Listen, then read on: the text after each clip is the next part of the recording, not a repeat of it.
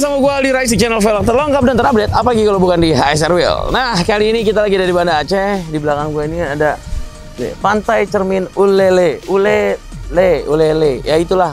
Coba deh kalian kasih tahu bacanya yang bener kayak gimana.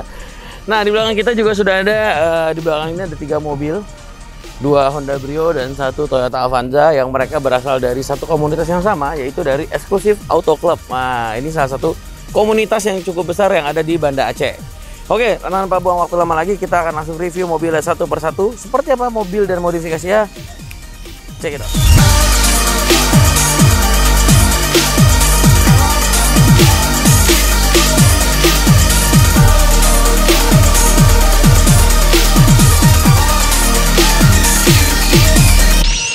Oke boy, sekarang kita udah sama Bang Ai nih, salah satu customer kita yang dari Banda Aceh. Bang, boleh perkenalan diri dulu Bang, silakan. Saya, saya nama saya Ai, ketua dari uh, komunitas eksklusif Auto Club Aceh. Uh, yang baru bangun selama 2 tahun. Dua tahun berarti kemarin. Abang asli dari Aceh. Asli dari Aceh. Oke bang, kegiatannya sehari-hari apa nih bang? Kegiatan sehari-hari saya sebagai ASN. Hmm. Uh, cuman saya berhobi di otomotif Aceh. Oh kebalik bang kayaknya. Beli kan? Ah, kerjanya di otomotif, hobinya hobinya di ASM. ya? Jangan sampai pekerjaan mengganggu hobi kita bang. Siap. siap. Oke, Ai, bang Ai, ini di belakang ini ada mobil apa nih bang? Uh, ma- gimana? Ini mobil apa nih di belakang kita nih? Uh, Avanza, Avanza Luxury. Luxury, tahun berapa nih bang? Tahun 2014. 2014. 2014. Kenapa bang pilih mobil ini bang? Uh, awalnya sih ini berguna untuk keluarga ya dan Oh. juga bisa dimodifikasi juga sih nggak kalah-kalah kali lah dengan mobil yang lain bang Jadi alasan utamanya eh, ini ya, untuk menunjang eh, karena udah berkeluarga Udah butuh seat betul. yang lebih besar Betul. untuk bawa keluarga, bawa barang kayak gitu ya Betul, bang. betul, betul, betul. Terus gimana eh, setelah abang pakai mobil ini berapa lama udah dipakai mobilnya bang? ini selama 2014 berarti udah enam tahun lebih ini Tujuh bang. udah tujuh tahun berarti Tujuh tahun? tujuh tahun tujuh tahun ya. Gimana pengalaman abang? Apa sih kelebihan dan kekurangan Avanza nih menurut abang Ai? kalau saya lihat sih kekurangannya tidak ada cuma ya nggak ada kekurangan sih Kelebihannya apa nih menurut kelebihannya ya bisa muat banyak Mhm. ya minimal kita udah berkeluarga dan jalan tempuh jauh pun saya lihat tidak kalah-kalah main juga dengan mobil-mobil yang lain gitu Memang mobil-mobil yang lebih, Iya, lebih yang sekelasnya lah ya, lah. atau tipe di atasnya dia.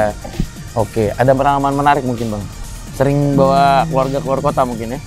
Sering sering siap akhir tahun kita juga bawa keluarga kadang-kadang ke Medan ke Takengon gitu kan tempat-tempat wisata lah Tempat-tempat wisata. wisata aja Oke, Bang Ai, ini apa aja nih yang udah dimodif nih Bang?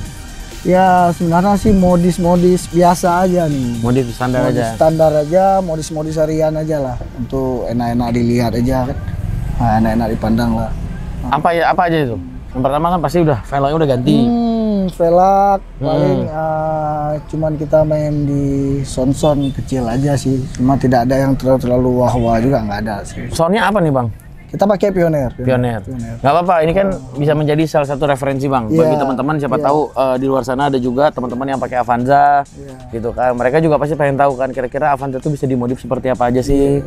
Kayak gitu. Jadi Abang ada penambahan audio juga nih. Audionya bagian apa nih Bang yang ditambah? iya cuman apa sound aja gitu Subwoofer. over aja nggak terlalu yang apalah Buat supaya jedak-jeduknya enak ya. Iya, supaya enak didengar di dalam aja lah supaya enak didengar di dalam.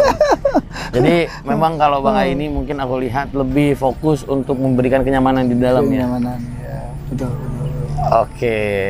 Apalagi Bang yang udah dimodif Bang? Ya. Joknya mungkin, head unitnya mungkin. Jok belum juga ya mungkin ya cuman ini aja lah.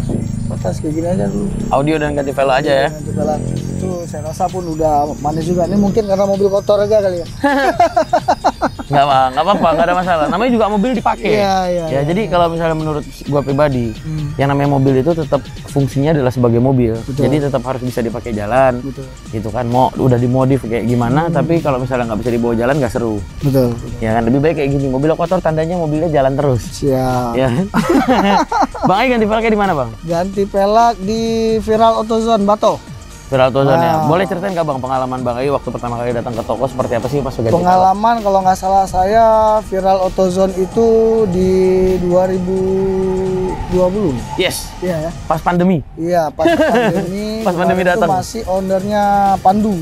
Pandu yang sudah pindah ke mana? Ke Semarang. Ya. Ya di awalnya memang ownernya ini memang sip, bagus, termasuk eksklusif juga kemarin tuh ada buat beberapa event, Mm-mm. ya event-event kecil lah seperti Kop Kopgap dengan beberapa komunitas yang ada di Aceh yang tergabung di Gama, Mhm. ya termasuk HSR salah satunya jadi Support. sponsor support kita, sponsor kita. Nggak sponsor bang, support, sport, aja. sport, sport, sorry, Iya. salah. Sport, Support ah, aja. Support ASR jadi support kita dan Viral Viral Autozone ya pada saat itu keren, Oke. keren. Waktu pilih velgnya nyobain berbagai model berarti ya. Ya banyak. Kita bisa tes dulu di situ. Dikasih coba dulu, lihat dulu cocok atau enggak gitu kan. Heeh. Nah, nanti ada ada beberapa beberapa kali oh nggak cocok, Ganti. ganti dan tidak dipungut biaya. Ah, itu, itu yang paling penting. Iya. Ya. Ya, Seperti walaupun- slogannya pemerintah. Betul, betul, Tidak betul, dipungut biaya. Tidak dipungut biaya. Kita bisa coba-coba aja dulu ya kan. Walaupun nggak beli pun nggak apa-apa. Benar. Nah, itu itu salah satu kelebihan dari uh, HSR ya. Yes, betul. Jadi kalau misalnya teman-teman mau modif mobil, lagi nyari konsep, ya nggak apa-apa datang aja ke toko, Hmm. Iya. fitting-fitting dulu, coba-coba dulu kira-kira, oh velg kayak gimana yang bagus buat mobilnya. Iya, betul.